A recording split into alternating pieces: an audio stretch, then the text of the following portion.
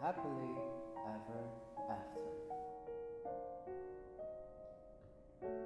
Er was eens in een land hier ver, ver vandaan een fotografe genaamd Dina Goldstein. En Dina was het zat dat de prinsessen in Disneyfilms altijd aan dezelfde cliché-eisen voldeden. En dat ze altijd nog lang en gelukkig leven. Altijd maar die happy endings. Dat kon toch niet realistisch zijn? Dus op een dag besloot zij een echt einde voor een sprookje te verzinnen, waarmee ze de ogen van velen wist te openen.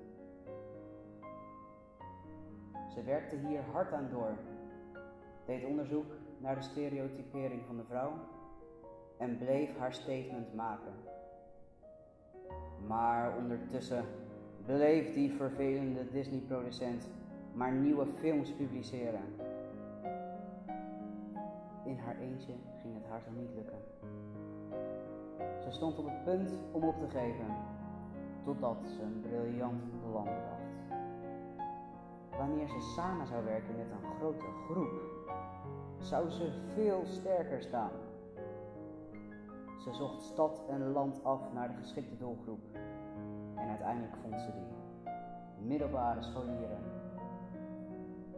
Met een frisse blik en creativiteit waren ze precies waar de fotograaf naar op zoek was.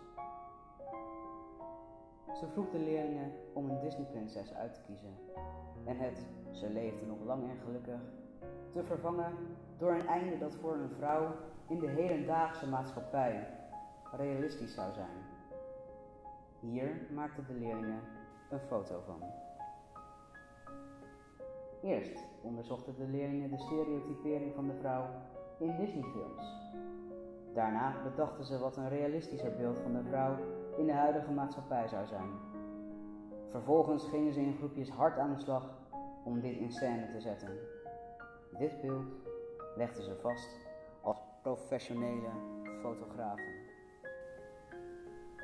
De foto's werden tentoongesteld en trokken veel publiek.